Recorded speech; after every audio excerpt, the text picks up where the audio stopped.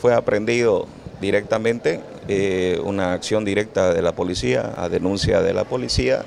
Alfonso Andrés Torrico, persona que hizo viral un mensaje por las redes sociales, convocando a salir a las calles a las personas. En las próximas horas será puesto a disposición de un juez cautelar, quien definirá su situación legal.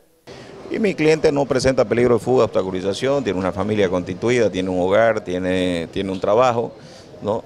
Y entonces este, eh, sería un tremendo exceso una, una aprehensión en la cárcel de Palmasola.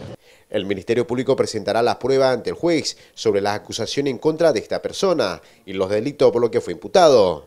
Los delitos que se le van a imputar es instigación pública a delinquir eh, y sedición, porque ningún ciudadano eh, está, debe incurrir en este tipo de actos de convocar públicamente a cometer delitos, convocar públicamente a delinquir.